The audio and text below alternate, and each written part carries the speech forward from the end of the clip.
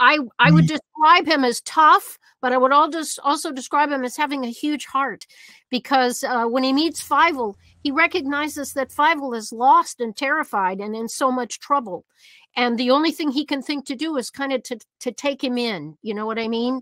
And to make Yeah, a I- brother out of him. You know, and protect him. What did you like best about the the movie, Seb?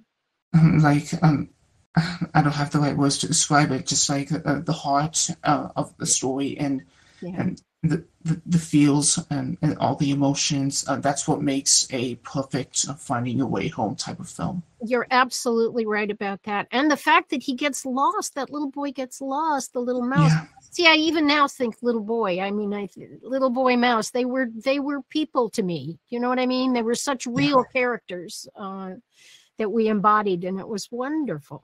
I'm so glad you came back to see me. I'm so happy. Thank you.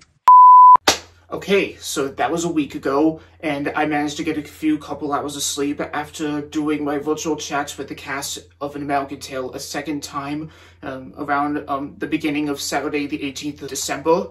And luckily, I got myself a special Christmas present from the guys at GalaxyCon and one of the stars of An American Tail, Pat Musick.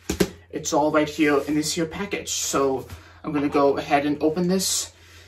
Yeah, again, this is my early Christmas present on Christmas Eve. Let's open her up.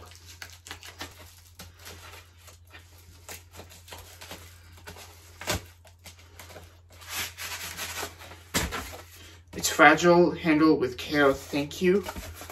Uh, it's set on both sides of both stickers, so let's open this thing up.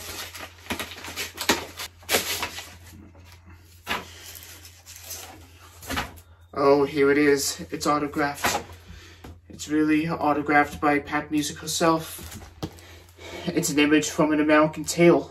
And let's, let's have a look. Uh, to Seb, Tony Toponi, aka Pat Musick.